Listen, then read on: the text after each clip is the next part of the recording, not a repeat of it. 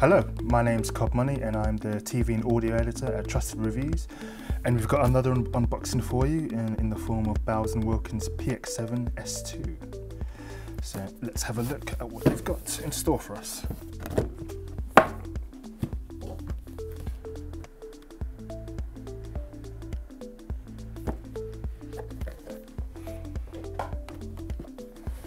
So we've got the carry case here and we've got a little little welcome manual and int int instructions for for the headphones.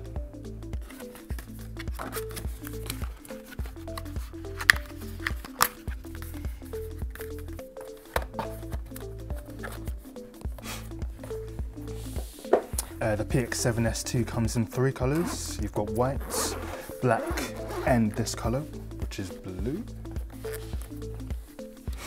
So inside you've got the, the headphones. And in this little compartment, you've got the three and a half millimeter the USB-C cable. And you've also got a USB-C charging cable as well.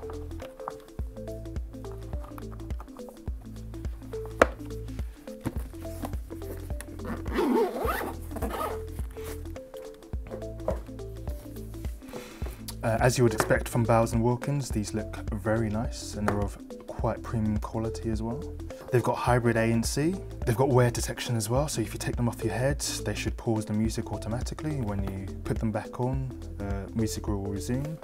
The drivers inside are angled. Uh, this is to give a more naturalistic uh, soundscape when you listen to them. The drivers are 40mm in size, and they've been tuned to deliver ultra fast response and low distortion. Uh, you've got Qualcomm's aptX Adaptive for the Bluetooth connection. Uh, on the side, you've got uh, controls for power, volume, uh, playback, USB-C uh, cable ports, and on this, on the left, and on the left ear cup, you've got uh, ANC, which you can toggle between noise cancellation and transparency mode.